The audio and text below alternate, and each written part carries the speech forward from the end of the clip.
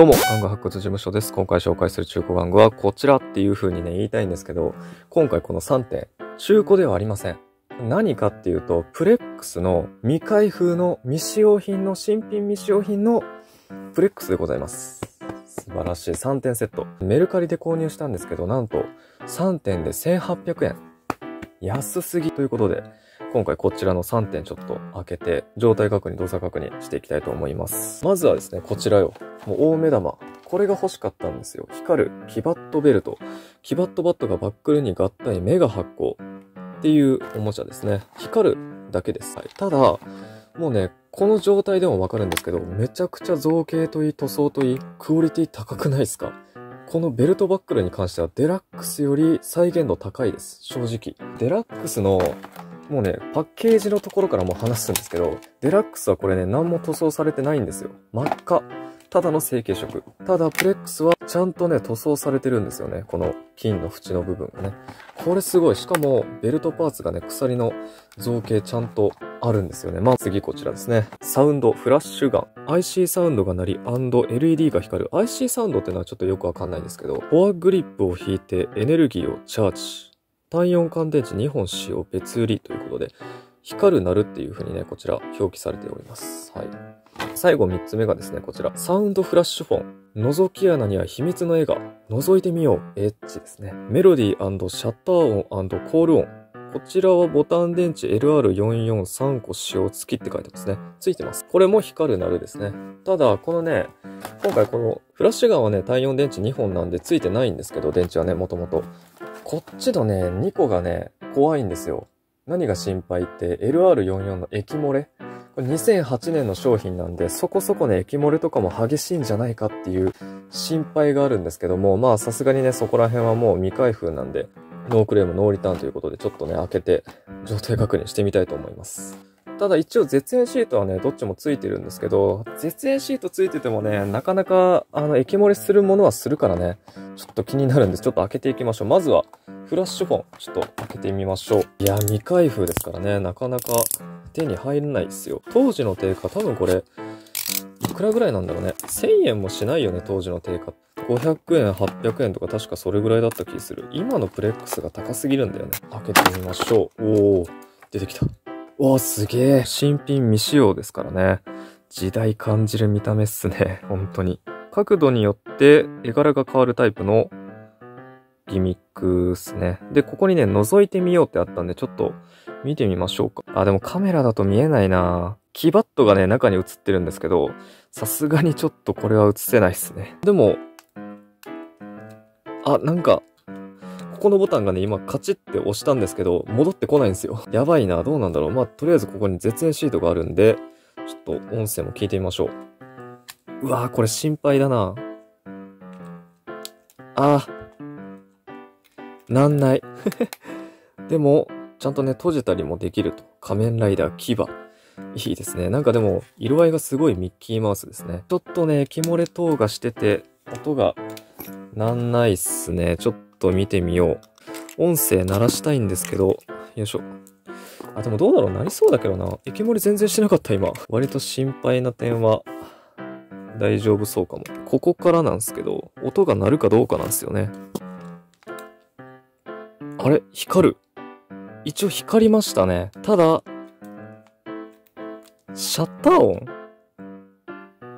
っていうのはちょっとなんないっすね。音鳴りません。まあでもね、2008年当時の新品未開封、未使用品のおもちゃですから、もうそういう劣化等でもう音がなんなくなってんのかな。一応全部のボタンがね、反応するんですけど、全部個別なんでね、これ。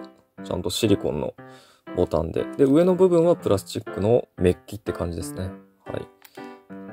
あー、ちゃんと反応はしてるけど、このボタンね、さっき押したら戻らなくなったボタン。一応ね、戻ってんのか、これ。最初カチって言っただけで、特に戻ってないことはないかも。ちゃんと反応してるんですけど、音がなんないっすね。あー、劣化してるか。さすがに基板が。では次はこちらのサウンドフラッシュガン。ちょっと見ていきましょう。これはさすがにね、電池とかついてないんで、もともとね、あのー遊べる可能性は高いっすね。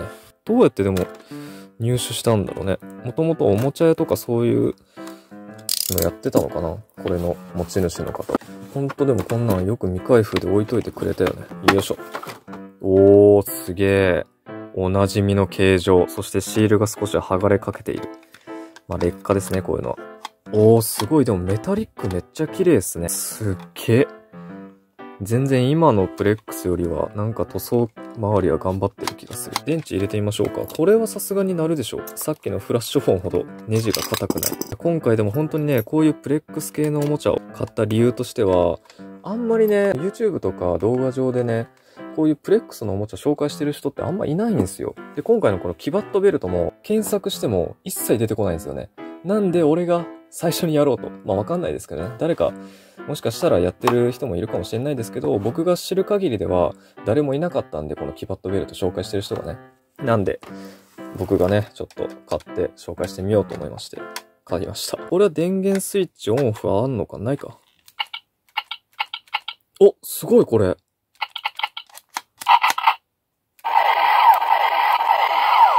え、すげえ。こんな感じなんだ。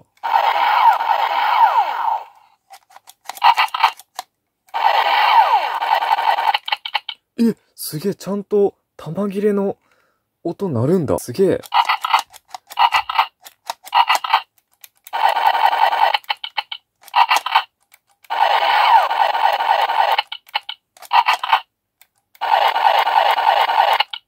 あ、一回カチャってやったら5回連続で鳴らすことができると。すげえ。え、めっちゃいいじゃん、これ。楽しい。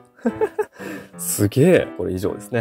IC サウンドっていうのはちょっとよくわかんないですけど、まあ、ちゃんと動作したんでよかったですね。問題は、こっちですね。今回の大目玉、光るキバットベルト、ちょっとこれも開けていきましょう。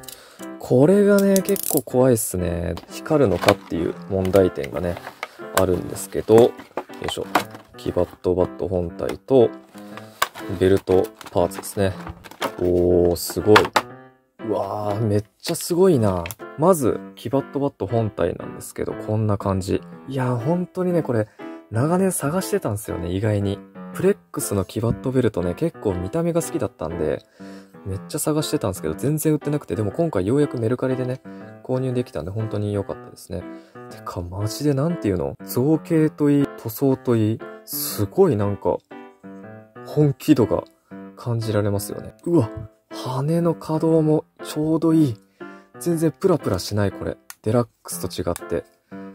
うん。すごいしっかりしてる。うわ、いいなこれ。ちっちゃくて可愛いし。これ押し込んで光らすタイプですね。押すと、こう、スイッチが凹むタイプのスイッチですね。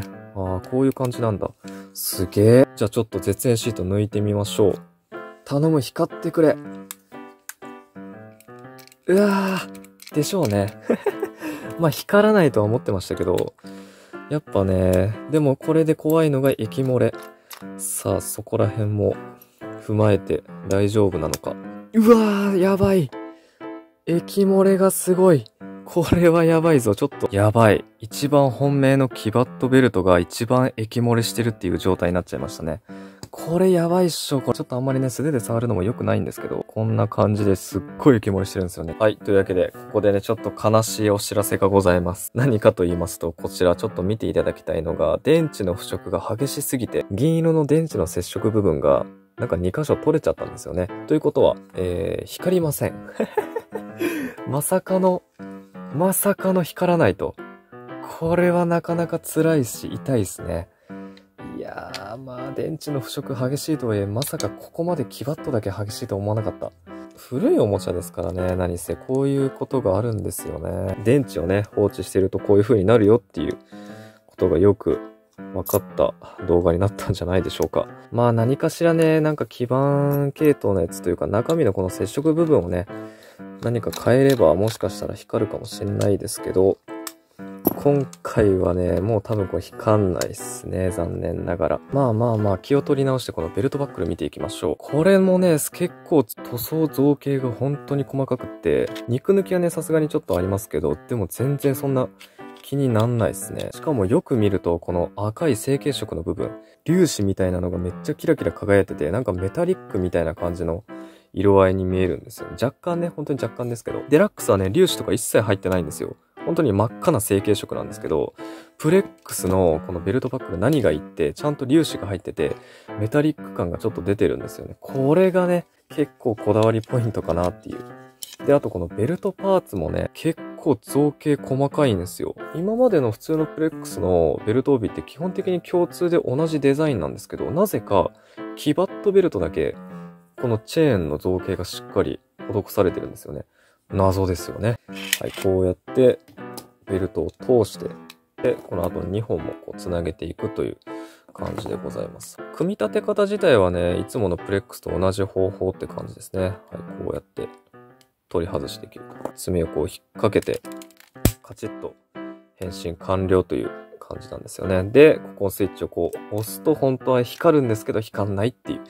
これはなかなか痛いな光って欲しかった。本当はね、これ、スイッチをこうカチッと押すと、ずっと光るっていう感じなんですよね。で、もう一回スイッチをカチッと押すと消えるっていうギミックだったんですけど、えー、それができないというね、今回。はい、こんな感じ。うーん、まあ結構ね、ショックですけども、まあ、これはしゃあないっすね。不織ですからね。でも未開封未使用品でね、ここまで結構あの見た目とかのクオリティはめちゃくちゃ高いんで、割と満足っちゃ満足かな。まあでもね、本当に造形とか塗装とか見た目に関しては全く問題ないんで、これはいい買い物だったんじゃないかなと、ちょっと思います。まあ電池の腐食だけなければ本当にこれは良かったんですけど、腐食だけならまだしも、銀色のね、電池の接触部分がね、壊れるっていうのは、まさかの予想外だったんで、何かしらここからパーツを移植したりとかしたら、なんとかなるかもしれないですね。まあ、しませんけどね。光はしないですけど、結構あの、ベルトの見た目はめちゃくちゃいいんで、まあまあ、これはこれでね、鑑賞用としてありにしましょう。こんな感じ。うん。